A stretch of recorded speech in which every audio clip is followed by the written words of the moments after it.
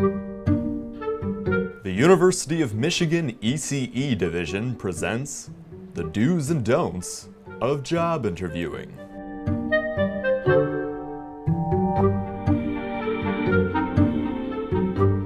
Don't be late or unprepared. Know the company's history and be ready to prove why you're the ideal candidate. I'm late, I'm late. Uh, what job am I applying for again?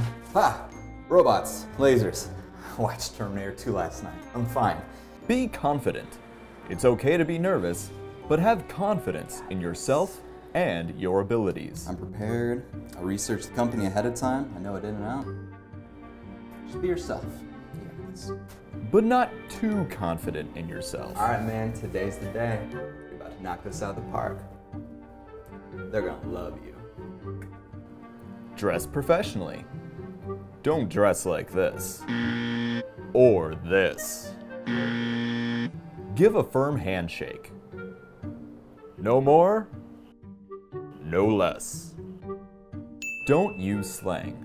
So tell me about yourself. What university did you attend? Uh, so what had happened was I graduated from the U of Michigan last year, and uh, now I'm just looking for a gig to pay the bills. Maintain eye contact with the interviewer. What inspired you to go into engineering? I was always really interested in uh, how things worked, and I heard that you don't have to talk to too many people doing this, so. Well, except for now, and when you're going to have to be part of a team, and when eventually you're going to have to lead your own team. Yeah, yeah, except for all those times. Um, oh, that's a lot of times. Don't lie about your skills or experience.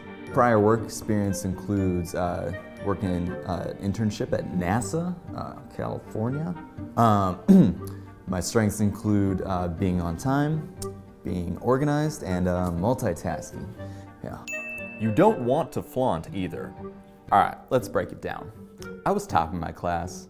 My professors loved me.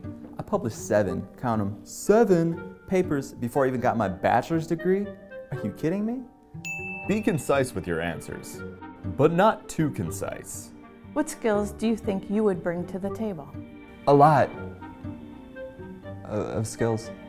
Now, for the big question why should we hire you? Yes. Oh, wait, I'm sorry, what was the question again? Stay on topic. Okay, if you had to say, what do you think your biggest weakness would be? My biggest weakness, rather than talk about my weaknesses, I'd like to actually touch upon a couple of my strengths, uh, which include being detail oriented, uh, being focused, that being sometimes too focused, actually, that I would.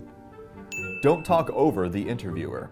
What we're really looking for here is someone who can. Come in and change the game. I'm that guy. Right here. Turn off your phone.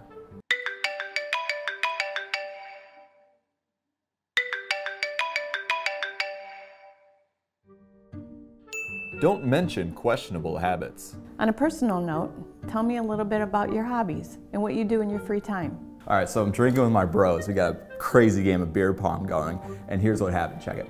They had one cup left, we had five left, and then Practice how to highlight what sets you apart from the competition. I think I'm a unique candidate because I was an international student. I'm originally from Finland, and I came to the United States for college, and I had to learn all about American culture along the way. And these experiences that I learned, I think brings a valuable perspective to any team.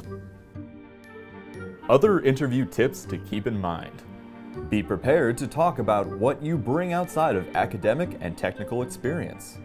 If you have trouble in interview settings, sign up to participate in mock interviews. The more experience you have, the better you will perform in an interview. At the end of the interview, thank the interviewer for their time and the opportunity. Do not ask about compensation until after an offer has been made.